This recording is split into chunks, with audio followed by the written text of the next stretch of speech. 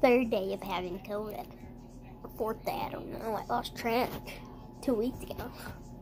No, I'm just kidding. See you guys.